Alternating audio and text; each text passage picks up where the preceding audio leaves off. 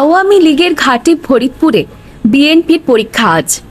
ফরিদপুর গণসমাবেশে দিনক্ষণ ঠিক হওয়ার পর থেকেই বিএনপি নেতাকর্মীদের মুখে একটাই কথা, আওয়ামী লীগের ঘাঁটি খ্যাত এই জেলায় শক্তির পরীক্ষা দিতে চান তারা।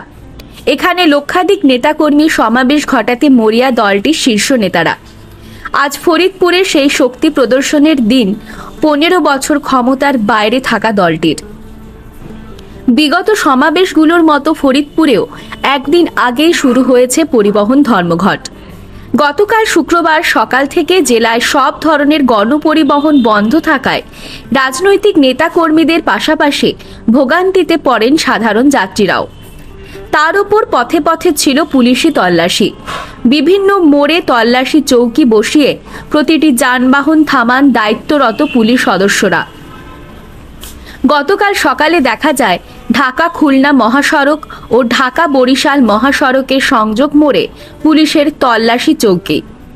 বিএনপির গণসমাবেশে যোগ দিতে আসা নেতাকর্মীদের সঙ্গে কথা বলে জানা গেছে, ঢাকা বরিশাল সড়কে ফরিদপুর শহরের মুন্সিবাজার এবং ফরিদপুর চরভদ্রাসন সড়কের গজারিয়াতেও পুলিশ তল্লাশি চালায়। এ প্রসঙ্গে ফরিদপুর ট্রাফিক পুলিশের পরিদর্শক তুহিন লস্কর বলেন, ফরিদপুরে পাঁচ দিনব্যাপী সড়কে বিভিন্ন যানবাহন তল্লাশির জন্য একটি কার্যক্রম পরিচালিত হচ্ছে। তারই অংশ হিসেবে শহরের বিভিন্ন প্রবেশপথে তল্লাশি চৌকি বসিয়ে গাড়িগুলো তল্লাশি করা হচ্ছে। গতকাল সকালে ফরিদপুর থেকে দূরপাল্লার কোনো যানবাহন চলেনি। এতে করে চরম দুর্ভোগে পড়েন সাধারণ যাত্রীরা।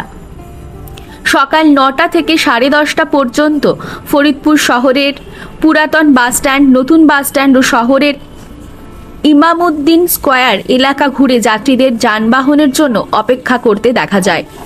নতুন বাসস্ট্যান্ডে গিয়ে দেখা যায়, বাসগুলো টার্মিনালে সারিবদ্ধ করে রাখা। পরিবহন শ্রমিকরা কেউ কেউ ক্যারম ও লুডো খেলছেন। এদিকে আজ শনিবার সমাবেশ হওয়ার কথা থাকলেও বুধবার সন্ধ্যা থেকেই সমাবেশ স্থলে অবস্থান নেন নেতাকর্মীরা। মাঠের মধ্যে তাঁবু টানিয়ে চলে আড্ডা ও স্লোগান। মধ্যরাতে ওই তাঁবুর নিচে ঘুমিয়ে রাত যাপন করেন হাজারো নেতাকর্মী। তাদের সঙ্গে বিএনপি ও অঙ্গ সংগঠনের কেন্দ্রীয় নেতা থাকতে দেখা যাচ্ছে। মাঠেই চলছে রান্না। সমাবেশ বাস্তবায়ন কমিটি সমন্বয়কারী ও বিএনপির ফরিদপুর সাংগঠনিক বিভাগীয় সম্পাদক শামা ওবায়েদ গতকাল বিকেলে আকাশ টিভিকে বলেন, মাঠ এখনই কানায় কানায় পূর্ণ। ফরিদপুর সাংগঠনিক বিভাগে সব জেলা থেকে নেতাকর্মীরা এসেছেন। পদ্মার ওপার মানিকগঞ্জ থেকেও নেতাকর্মীরা এসেছেন। তিনি আরও বলেন, এরই মধ্যে মাঠে প্রায় কুড়ি হাজার নেতাকর্মী রয়েছেন।